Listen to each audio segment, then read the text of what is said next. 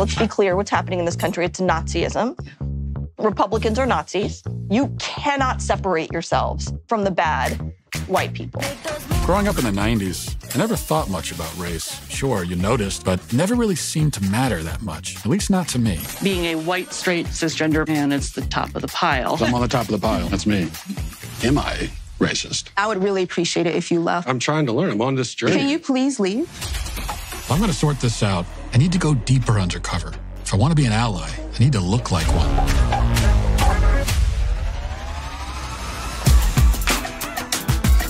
What is racism? Martin Luther King said not to judge people by the. Martin Luther King said a lot of stuff. Is America inherently racist? What the hell is that? The word inherent is challenging there.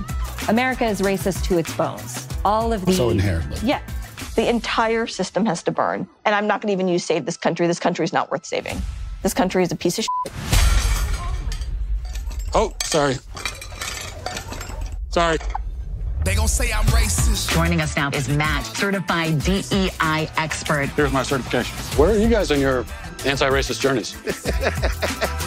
so I'll look around the room and point to who we believe is the most racist person in the room.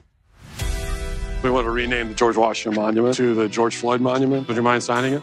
You will? What do you think about this issue of heteronormativity and how it intersects with the broader structures of racism in society?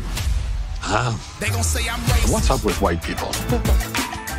What are you doing to decenter your whiteness? Who's making it the center? Why are they doing that? And what you're doing is you're stretching out of your whiteness. This is more for you in this view. White. Folks, White. trash. White supremacy. White woman. White boy. White. Entitlement. White. Centering. White. Silence. Is there a black person around here? So there's a black person right here. Does he not exist? They gonna say I'm racist. But they call everybody racist. Hi, Robin. Hi. And what's your name? I'm Matt. Matt. Hi, Matt. Nice to meet you. Just had to ask who you are because you have to be careful. Never be too careful. They gonna say you racist.